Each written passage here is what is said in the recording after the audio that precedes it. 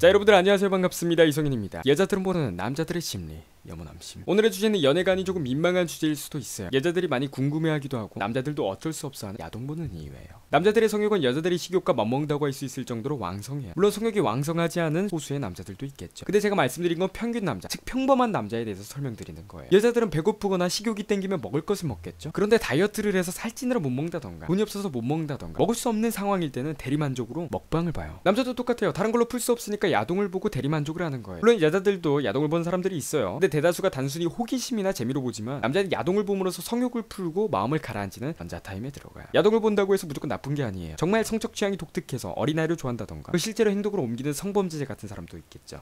아 걔네들은 사람이 아니라 짐승 새끼들이구나 무튼 남자친구나 남자 사람 친구가 혹은 동생이나 오빠가 야동을 본다고 해서 이상하거나 안 좋은 게 아니에요 이해하긴 힘들겠지만 그걸 이해해준다면 이해심이 정말 매우 베리 넘치는 퍼펙트한 여자친구 퍼펙트한 여동생 혹은 누나가 될 거예요 야동을 안 본 놈은 있어도 한 번만 본 놈은 없다잖아요 이해해주세요 퍼펙트한 여자가 되어주세요